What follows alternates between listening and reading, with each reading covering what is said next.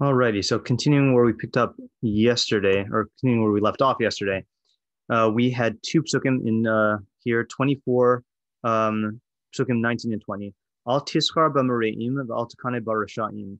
Do not tischar, which we either said means to be assimilate with, compete with, or be jealous of evildoers.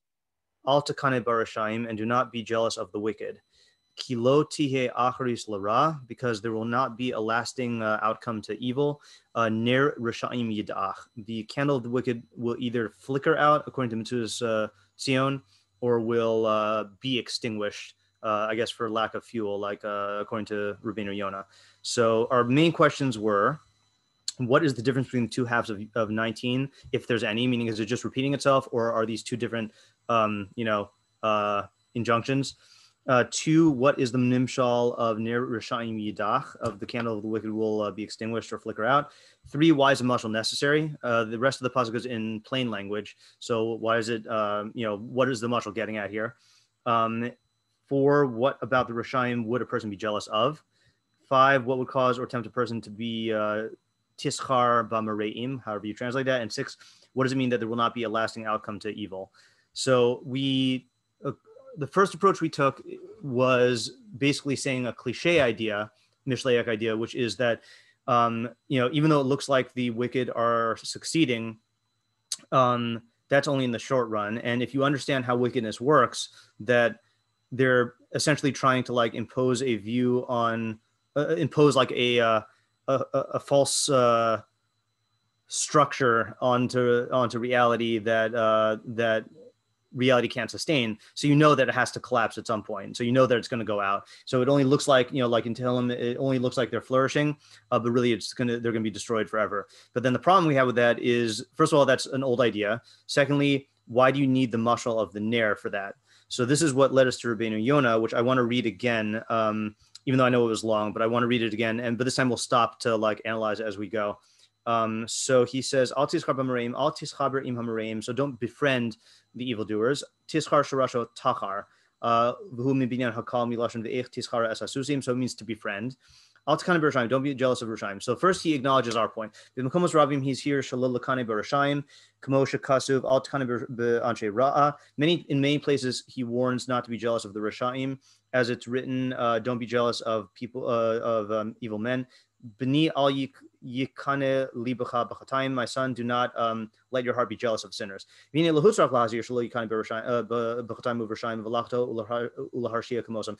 doesn't need to warn us to not be jealous of sinners and wicked, to act like them. So this is his main theory here, which is he's warning a person not to be jealous of their tranquility and their wealth and their honor. Okay, so we're not talking here about telling you to keep away from emulating them. All right, so that's step one. Uh,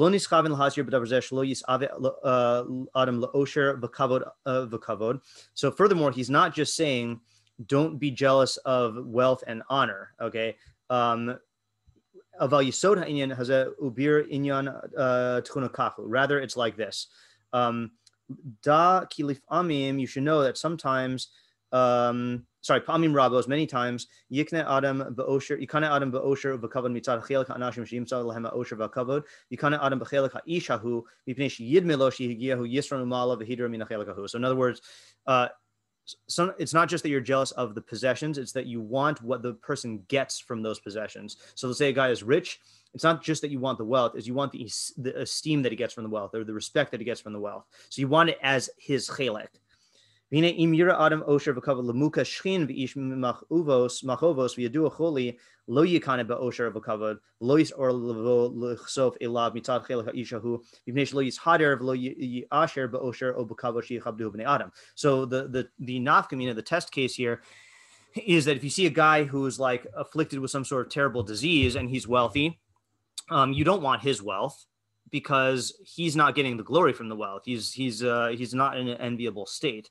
So that shows you that it's not just the objects that you want, it's you want what he has, which encompasses the totality of his status or his like uh, circumstances, his success.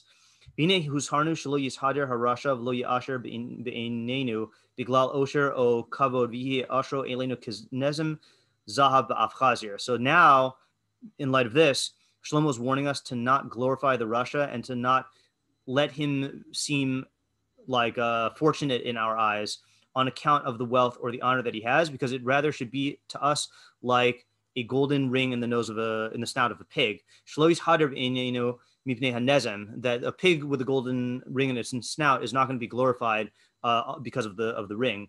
Um, so so to ukumuka shchin rash lo yushar mivne ashro lo yisorer libenu lichsof mitad. So too, someone who's covered in uh, in in in you know uh, boils uh, and who's rich, we don't we don't yearn to be like that person. Ikar hakavana b'meshu. He's here. That's the essential intent in what he's warning us. Not to be jealous of the wicked, the sinners and the wicked. We should despise them and uh, to degrade them in our in our mind's eyes. Ki hiu bali osher v'kavod mita'atenu ki lakala v'nechratza v'in ha'osher v'kavod ahu yisron lehem. Um, and uh, um, oh, sorry, didn't you, uh, you said that there's a comma there in yours? I forgot where the ki hiu bali osher v'kavod. Oh yeah, meaning we shouldn't uh, we, we should despise them uh, and, and, degrade them in our eyes. Midatenu with the knowledge that ki lakala v'nechratza that it's going to end. The in ha'osher v'kavod yisron lahem, and this uh, wealth and honor is not a benefit to them. Zetam shifarish achrei pasuk and that is what's going to be explained afterwards. So then he says, ki lo ki achris l'ra nerushai midach ki ein oram mipas malas nafsham. Their light is not because of their souls. Ach shalvasam v'kavodam kener. Rather, their tranquility and their honor is like a, a lamp.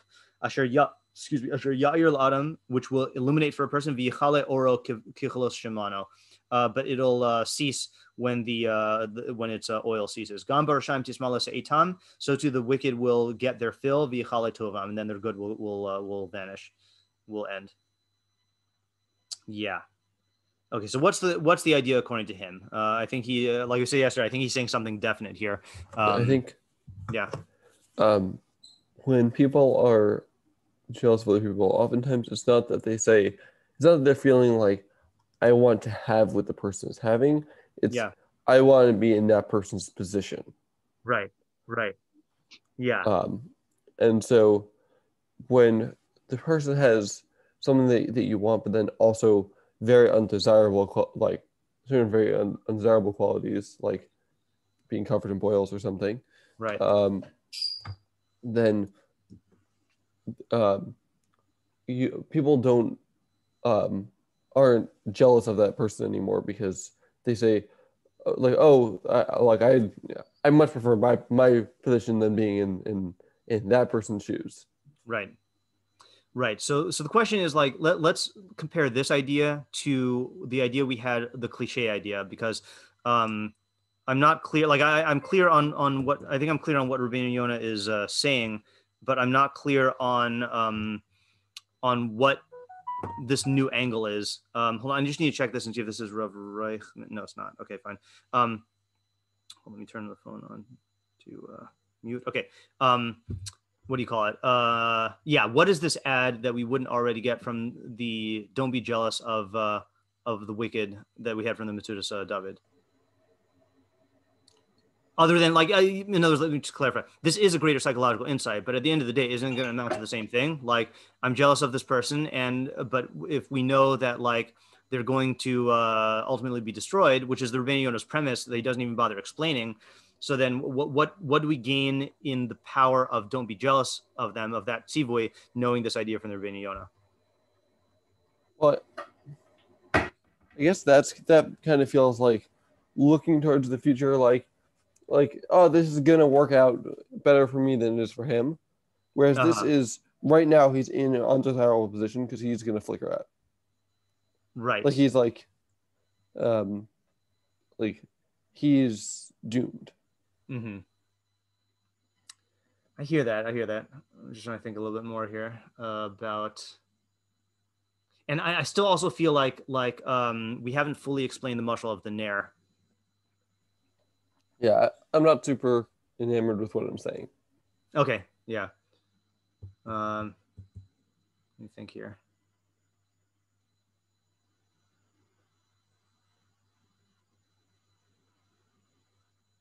what this reminds me of, and I don't know if I'm just thinking about this because of the Ner mashal. Um, I'm thinking here of the, and I don't know if this is related. okay, I could totally be projecting here, uh, but the halo effect, right? Uh, let me just look up a what Wikipedia says. Halo effect. Um, see if I'm remembering this correctly. Uh, halo effect, sometimes called the halo error, is the tendency for positive impressions of a person, com- brand, company, brand, or product in one area to positively influence one's opinion or feelings in others. Halo effect is the name given to the phenomenon whereby evaluators tend to be influenced by their previous judgments of performance or personality. The halo effect, uh, which is a cognitive bias, can possibly prevent someone from accepting a person, a product, or a brand based on the idea of an unfounded belief of what is good or bad. Okay, a simplified example of the halo effect is when an individual noticing that the person in the photograph is attractive, well groomed, and properly attired assumes using a mental heuristic that the person in the photograph is a good person based on the rules of that individual's social concept. This constant error in our judgment is reflective of the individual's preferences, prejudices, ideologies, ideology, aspirations, and social perception. So, like, I think the reason I was thinking about this is that this is the mistake that is being highlighted by the uh, the uh, gold ring and the snout of the pig example. That um, that no one would make the mistake of thinking that because this pig has a golden ring in its snout, then somehow the pig is beautiful. Um, rather, the gold is beautiful, but the pig is not. So, so too here, the mistake is to think that because this this rasha has wealth or honor or tranquility, then that somehow is reflective of the overall person. That the overall person has something that is like desirable and uh, and you know and and valuable. And what, what this is saying is that because this wealth and see, I think you need both that. I think you need the idea that the Rishaim are going to flicker out, but you also need the idea of the light, meaning that that if you saw, let's say, for example, you saw a, a candle, uh, or not a candle, a, a, um, a lamp that had oil and it had a very bright flame, but you knew that there was very little oil left in it and it's only going to last for a few more minutes. So then you wouldn't you wouldn't be tricked by the brightness of the flame. Um, so to even though in other words, fl- the flame is good, that's not what we're denying. But you're you're you're not making an inference about the, the lamp in, in its entirety based solely on the flame. So so to here with the wicked, if you had let's say for example a tzaddik who had wealth and honor and tranquility, that is something that you could be envious of based on this framework because that is stemming from his his good qualities and is made to last. You know, the tzaddik's, for example, tranquility stems from from his inner state and his perfection, not just from his circumstances that he happens to be like uh, uh, ahead right now, you know, or happens to be exerting his power. But with the wicked, then when you see their tranquility, you shouldn't assume that that is reflective of the the the the underlying state of their uh, of their success. You know, it's really it's really short lived. So it's trying to break that that inference there.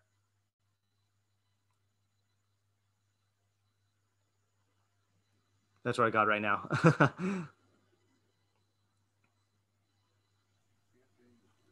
that makes sense to me. I guess like the um, I guess um, like when you're just looking at the fire, yeah, itself, you say like it's like a really bright fire, but when you um, when you see that when you're looking at the, at the fire in conjunction with the fact that it's going to burn out, mm-hmm. then you say like, oh, this is its like, like last flare up before it before it goes. Right. Like, it. Um, I think it like it redefines the way that you you also just like looking at the at the fire itself. Yeah.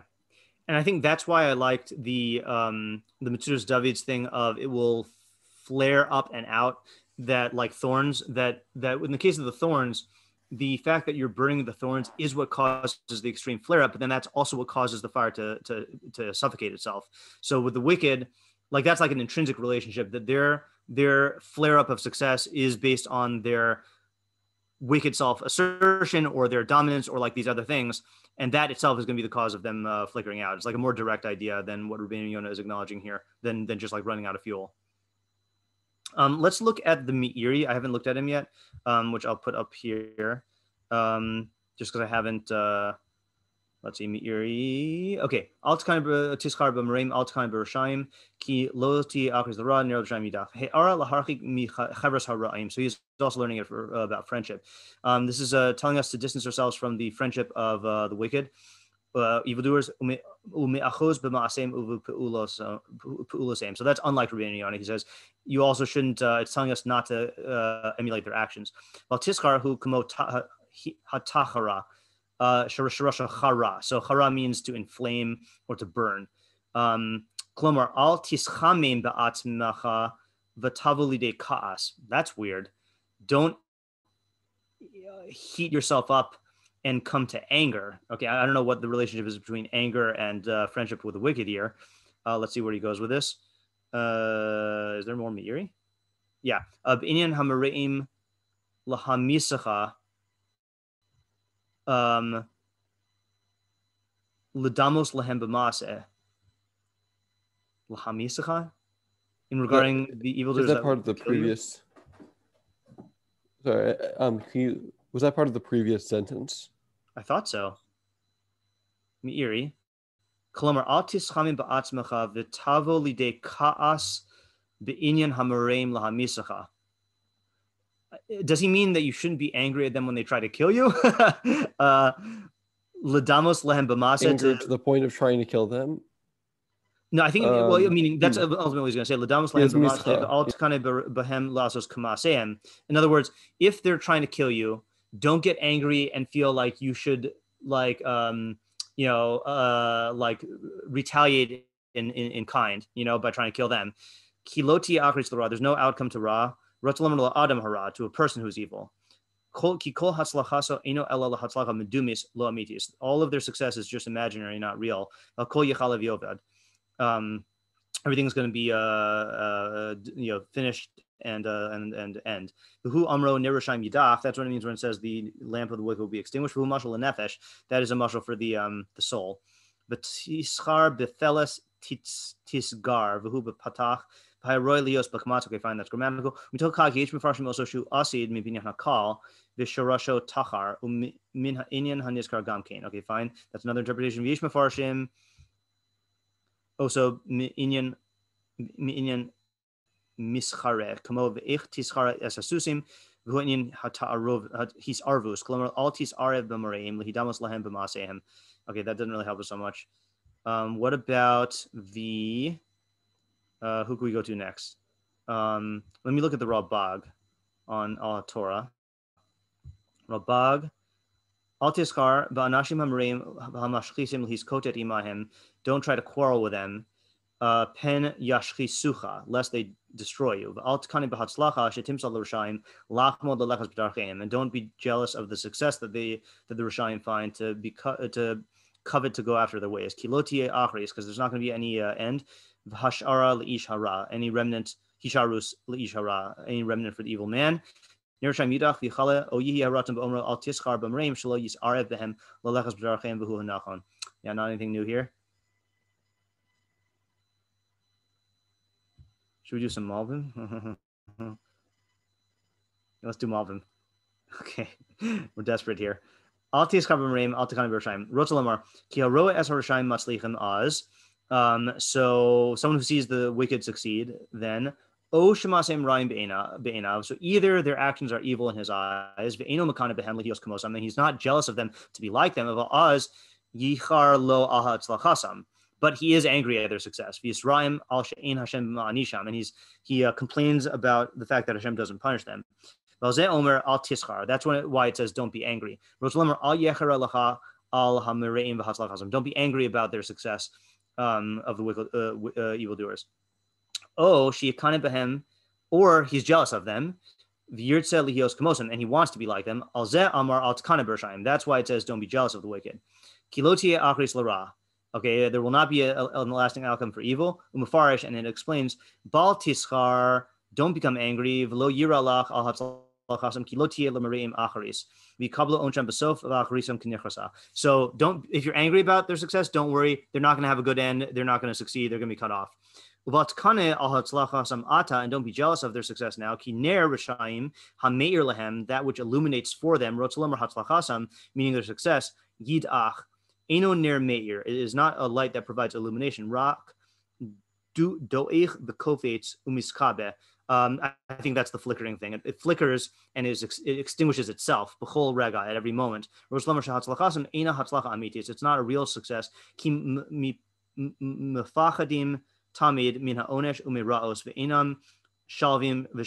And they're not tranquil or secure. So that's like you were saying. Uh, I think someone was saying yesterday about how their success is um, is only external, but inside they have all these anxieties and turmoils and are worried that they're going to lose it.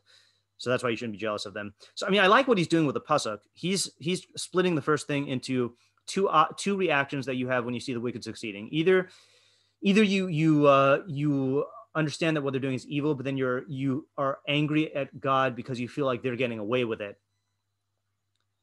And therefore he's saying they're not getting away with it. They're going to be brought to, to destruction. Or you're jealous of them and he's saying that they actually are not something to be jealous of because they're not actually internally experiencing what you imagine them to be experiencing. They're they're really um, uh, you know um, uh, in a state of turmoil and anxiety and fear and all that other stuff. Uh, would you say those two things are related? Um, or are they the, two separate the, things? Uh, the two um, things in Pasuk 20 or the two things in Pasuk 19? Uh, yeah, the uh, in 19, I think the being Yeah. jealous of them and Yeah. the uh, thinking they're not getting punished. Yeah, I think that both of them reflect a. In other words, I think the person who actually understand, like the actual tzaddik, will not have either of those effects. Um, so I think they both stem from from ignorance about. I think they both stem from the fact that this success is is uh, you think the success is real, but really it's imaginary. Meaning, you think that it's real in that it's going to last, or you think that it's real in that they're happy. You know, um, and I think this is pointing to two avenues that you can use to think about it. Um, so yeah, I, I, I- I think Cool. that they are related. You know, that they're stemming from a lack of knowledge about what causes the rasha to have this apparent success, or like what is the success. Like you know, I was watching in the. Um, I mean, I know it's a drama, but I've been you know, I, I really, I love and I advocate anyone who wants to watch good film and good psychology to watch The Crown, uh, the entire series uh, about the British royal family. But the most recent season was about uh, Princess Diana and um, and Prince Charles. And like, I I didn't know this, uh, but I guess during their marriage up until their uh, their their divorce. Then people assumed that they were happy simply because it was like this fairy tale marriage, you know, uh, of this beautiful princess who was like uh, charismatic and and charitable and kind and all this other stuff, marrying like the man who would become king. And like, any you, know, the, what the drama does a very good way of, of portraying is like how much like unhappiness and pressure and competition and and and depression was going on behind the scenes.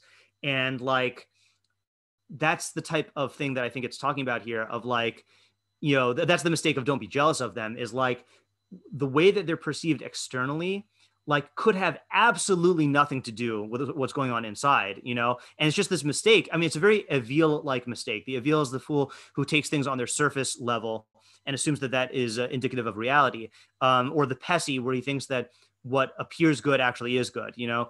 Um, and like it's just a, a complete misunderstanding of of uh, uh, uh, of what happiness is you know? Like as if happiness is a certain material circumstance you know rather than an internal state you know? Um and uh yeah. Uh and then again and then again the- the god not punishing them and, and them getting away with it that's a misunderstanding of the phenomenon of how they got the success. You know that that if you try to build your success on these like you know these uh, foundations of fantasy uh then it's going to collapse. Um yeah.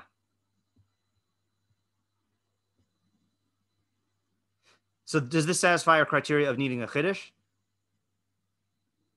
i feel like it does even though it's not an, extreme chiddush I, I feel like the the you know when you look at Rishaim succeeding if we take this as exhaustive then there are two improper reactions that you can have is, is either anger that they're getting away with it or jealousy that it's actually good and something desirable and this is by identifying these two avenues then uh, you can a- a- a- and uh, and giving the refutation then you can uh, you can guard against these things. You know, I feel like this puzzle, the, the way the Malbim is explaining is more actionable than the the simpler cliche version of the idea that we got from the Metzudas David. Um, this is in the later section, right? This is like um. No, this is uh, uh, this is not in the later section. This is uh in 24, and the later section starts in 25. Oh, okay. Yeah, yeah. See, it feels like it. It feels like it's in the later section. Okay. Yeah, yeah. I still feel like Rabbeinu Yonah is saying something else, but um, uh, maybe uh, I I also want to take a look at the other Mefarshim um, uh, during the um, uh, you know, later on on Shabbos or something like that. Um, I just want to skim through this really quickly, see if anyone, even Kaspi, no, even Kaspi, no. Um, Moshe Al I don't really look at so much. Um, oop. all right, so we should probably, I should probably let you guys go soon so you can go to Rabbi Markowitz this year. All right, so if you think of anything else, let me know. Um, but uh, yeah, and so I guess let's, the plan will be to take up the other two near Psukim on uh, Wednesday and Thursday. Okay, I um, I have a methodological thanks. question. sure. Um, so it's about how like how quickly to go to Mafarshim. Um, yeah. So how quickly? I'm gonna to- run. I gotta run. Okay. See you later. Yeah. Have a good Shabbos. Happy Hanukkah. Um, yeah, I, I think that has to do with your own uh, uh, estimation of how likely it is you'll come up with an idea um, on your own, uh, and like also a thing of how impatient you happen to be with a particular pasuk, or like which a lot of times is going to also have to do with like how much time you have allotted to yourself. You know, like um, like you know, in let's say in our average forty-five minute shiur, I will often have to make a value judgment or I uh, make a snap judgment of do we want this to be a one day pasuk or a two day pasuk? And if we want it to be a one day pasuk, then we'll spend the entire first time trying to get it on our own, and then we'll do mafarshim the second day. But if we are at like halfway through the year and we're not coming up with anything, and we want it to be a one day pasuk, then I'll go to the uh, to the mafarshim then. So very Okay. subjective factors, uh, and also relative to like your confidence and your own ability to get somewhere. You know? Yeah. Okay. Yeah. Alrighty. All right. So uh, have a good yeah, Shabbos. thank you. Yeah. Have a good Shabbos.